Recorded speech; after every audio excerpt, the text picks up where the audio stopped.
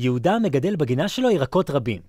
עגבניות, כרובים, פלפלים, גזרים ואפילו חצילים. יום אחד הבחין שגדלו חצילים בתוך חלקת העגבנייה.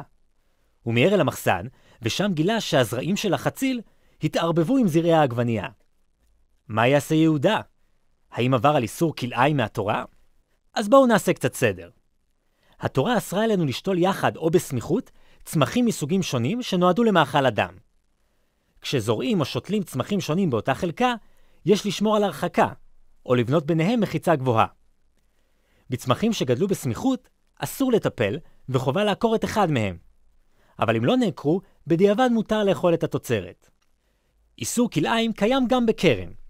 חובה להרחיק מהגפנים מיני תבואה וירקות, ואם גדל תוצר כלאיים, אסור ליהנות ממנו וצריך לשרוף אותו.